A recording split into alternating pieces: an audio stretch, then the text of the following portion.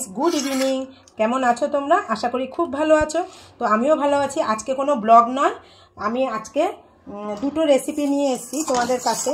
তো চলো, দুটো রেসিপির মধ্যে একটা দেখাবো আর একটা অন্য দিন দেখাবো। তো এখন হচ্ছে দুপুরবেলা আমি যে জিনিসটা বানাবো, সেই পুরটা তৈরি করে নিচ্ছি।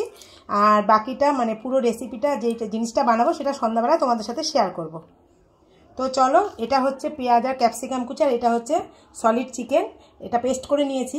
তো এটা এখানে পুর বানাবো। এখানে হচ্ছে এই যে, এখানে আদা, রসুন বাটা আছে। তো চলো পুরটা বানিয়ে নিই আর কি বানাবো সেটা সন্ধ্যাবেলা শেয়ার করব। তো দেখো, কড়াই তো গরম হয়ে গেছে, তেলটা দিয়ে দিচ্ছি। তেলটা দিয়ে এবার এবার আমি এই যে পেঁয়াজ, ক্যাপসিকাম কেটেছি, এটা একটু দিয়ে দেবো তেলের মধ্যে।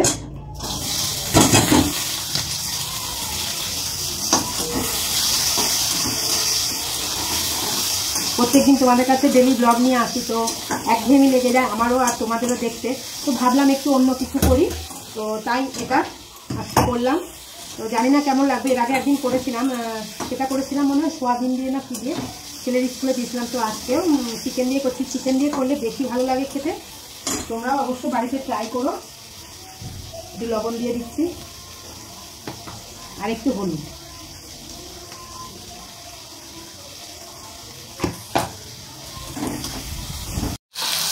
তো দেখো, এটা প্রায় ভাজা ভাজা হয়ে গেছে। আমি এই যে রসুন বাটা আর একটু আদা বাটা। তারপরে যে মাংসটা পেস্ট করেছি, এটা দিয়ে দেবো। আদা বাটা দিয়ে দিয়েছি, এবার দেবো একটু লঙ্কার গুঁড়ো। বেশি ঝাল দেবো না, আর একটু গরম মশলার গুঁড়ো। আর একটু সয়া সস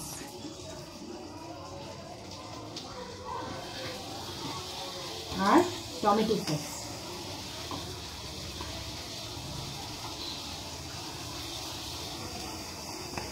তো চলো এগুলো একটু নাড়াচাড়া করে নিই। করে তারপরে আমি এই যে মাংসের এই যে পুরটা, কোথায় গেল চামচটা? এই মাংসের পুরটা দিয়ে দেবো।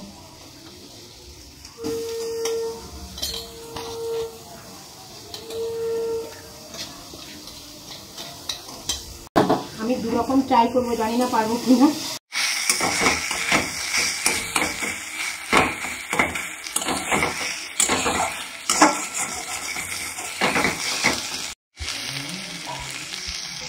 চলে এসেছি সন্ধ্যাবেলা রান্নাঘরে। তো রান্নাঘরে আমি মোটামুটি এটা দেখো রেডি করছি। তো দুটো বেলছি, বেলে নিয়েছি। তারপর ভাবলাম যে তোমাদের সাথে একটু শেয়ার করে নিই নাকি আর কটা বেলে শেয়ার করব। তো দুটো বেলে নিই, সেটাই আগে শেয়ার করে নিই। লেচি করে নিয়েছি। আর এখানে পুরটা এরকম করে নিয়েছি। এই যে। আর হচ্ছে, দেখো, দুটো অলরেডি করেছি। খুব ভালো লাগে মানে বাচ্চাদের টিফিনের জন্য খুব ভালো। আর পুরটা বানানো থাকলে খুব তাড়াতাড়ি হয়ে যায়। তো চলো, আর দুটো বেলে করে নিই, করে তারপরে ভাজবো।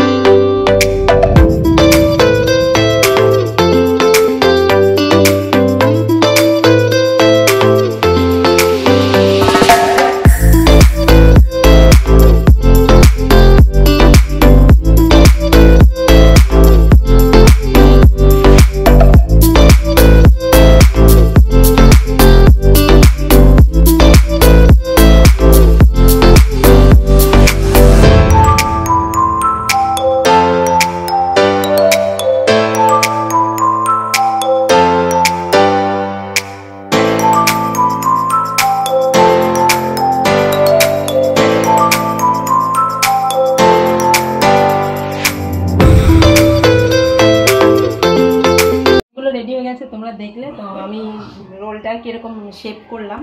এই দেখো, অনেকগুলো হয়ে গেছে। অনেকগুলো বেলা হয়ে গেছে, এবার আমি ভাজবো। তো চলো, তেলটা প্রায় গরম হয়ে গেছে।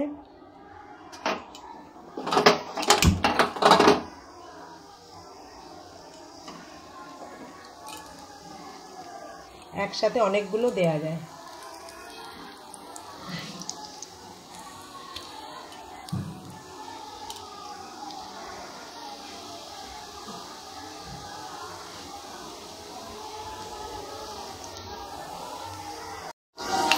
তো দেখো, ভাজা প্রায় হয়ে এসছে আর একটুখানি লাল লাল হলেই নামিয়ে নেব।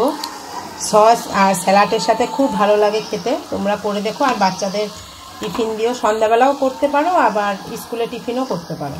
শুধু পুরটা বানানো থাকলে বানা মানে তৈরি করতে বেশি টাইম লাগে না। পুরটা আমি দুপুরে বানিয়ে রেখেছি, তোমরা দেখলে। তো ফ্রেন্ডস দেখো, এই দেখো প্লেটে সাজিয়ে নিয়েছি, ছেলেকে দেবো। ওকে আবার সাজিয়ে না দিলে পছন্দ হয় না। আর এগুলো আমাদের আর দু তিনটে ভাজবো এই দেখো স্যালাড। তো চলো ছেলেকে দিয়ে দিই। ও খেয়ে দেখুক কেমন হয়েছে। তো স্যালাডটা আমি এখানে বসিয়ে নিচ্ছি। তো চলো। তো দেখো নিয়ে এসছি এখানে। এনে। কেমন হয়েছে দেখ খেয়ে বল। গরম? না না ঠান্ডা হয়ে গেছে।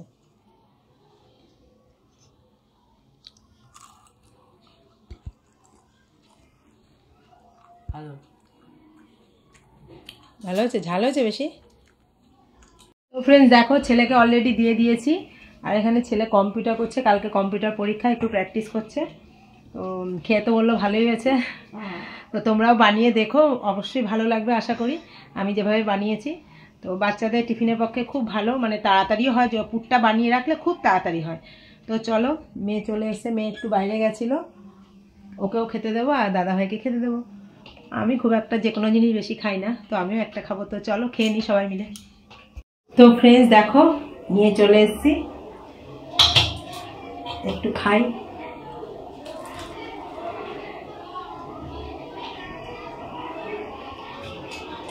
খুব ভালো লাগছে খেতে।